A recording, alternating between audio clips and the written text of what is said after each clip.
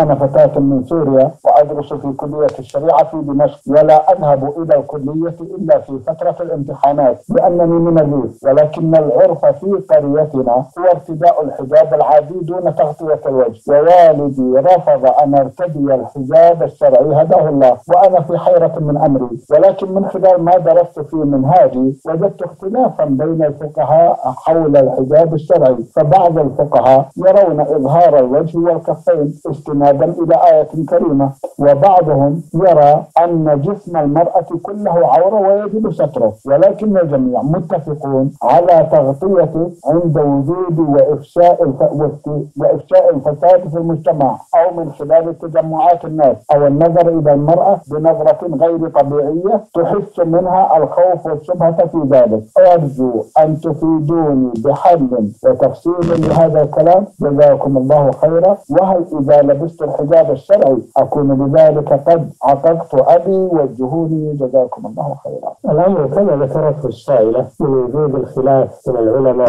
في حكم ستر الوجه والكفين عن الرجال الذين هم ليسوا من محارم المرأة. الخلاف موجود ولكن الدليل مع من قال بوجوب سترهما هم الذين معهم الدليل وذلك لقوله تعالى لأزواج النبي صلى الله عليه وسلم وإذا سألتموهن متاعا فاسألوهن من وراء حجاب. ذلكم أطهر لقلوبكم وقلوبهن. وقوله من وراء حجاب هذا يراد به الحجاب الساتر لجميع جسم المرأة بما في ذلك وجهها وكفاها. والحجاب هو الساتر سواء كان جدارا أو ثوبا أو بابا أو غير ذلك. وليس هذا خاصا بأزواج النبي صلى الله عليه وسلم. بدليل قوله ذلكم أطهر لقلوبكم وقلوبهن. فالتعليل عام في أزواج النبي صلى الله عليه وسلم وفي غيرهن لأن طهارة القلوب مطلوبة لجميع الأمة.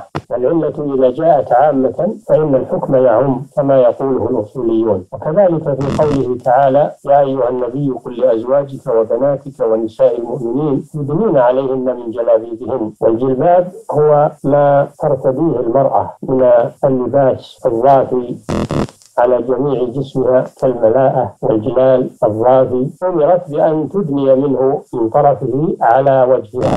كما فسره بذلك حبر الأمة. ترجمان القرآن عبد الله بن عباس رضي الله تعالى عنه فإنه لما سئل أدنى آه الغطاء على وجهه ليبين للسائل ما هو المقصود. وفي حديث عائشة رضي الله عنها قالت كنا مع النبي صلى الله عليه وسلم محرمات فإذا من مر بنا الرجال سدلت إحدانا ثمارها من على رأسها على وجهها فإذا جاوزونا كشفنا هذا صريح لأن المرأة تغطي وجهها. وكان ذلك بحضرة النبي صلى الله عليه وسلم وإقراره في هذا الأمر. فقال صلى الله عليه وسلم في المحرمة لا تنتقد ولا تلبس القفازين فدل على أنها كانت قبل الإحرام كانت تلبس النقاب على وجهها وتلبس القفازين وهي لم تمنع في حالة الإحرام من تغطية وجهها وكفيها. بدليل حديث عائشة وإنما منعت من لبس النقاب والقفازين لأنهما مخيطان للوجه ولليدين فتغطيهما بغير المخيط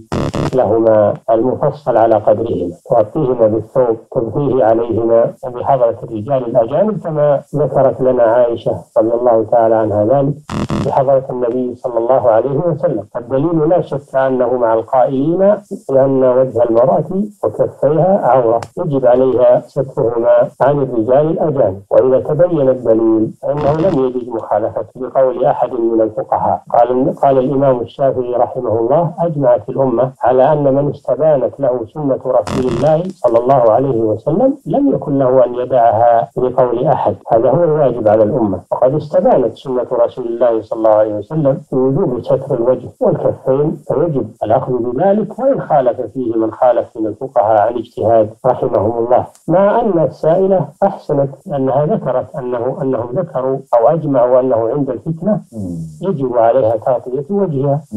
والحمد لله. هذا هو الحق. المرأة ما أمرت بستر وجهها وكفها إلا خوفا من الفتنة.